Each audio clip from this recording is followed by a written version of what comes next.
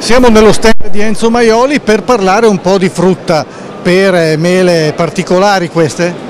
Sì, questa direi è una collezione, una collezione che è cominciata nel lontano 1928 da mio padre Mario, che io tuttora eh, mando avanti e attualmente noi siamo adesso come mm, quantità di, di, di piante recuperate, sono 1600 varietà solo di mele sono 540 varietà che abbiamo in produzione, dunque pensiamo a che biodiversità eh, ci, essere, ci, può essere solo nel campo delle mele, le pere sono 270 varietà.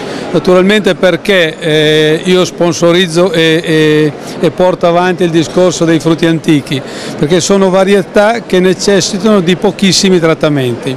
Cioè, mentre una mela moderna, quella che compriamo tutti i giorni al supermercato, abbiamo più o meno 40 trattamenti, noi con 5-6 trattamenti riusciamo ad avere questa frutta e cocchi sul tavolo. Stiamo parlando di biologico? No, non è biologico, questo qui è un, una lotta diciamo più o meno integrata che noi eh, con la poltiglia bordolese, il rame e con 4-5 trattamenti riusciamo ad avere la frutta che non sarà perfetta ma è buona ed è e si saporita, gustosa. Eh, sono i sapori di una volta che purtroppo abbiamo perso. E poi mi diceva che lei fa anche del vino particolare. Beh, con le 160 varietà di uve antiche recuperate, siccome ho il campo di madrepiante dove io devo fare le viti, allora mi serve il, i tralci, produce, le viti producono l'uva e io mischio tutto, faccio il 106. Sono 106 varietà dell'Emilia Romagna che io mischio assieme bianco e nero e ho chiamato il 106 perché sono 106 varietà.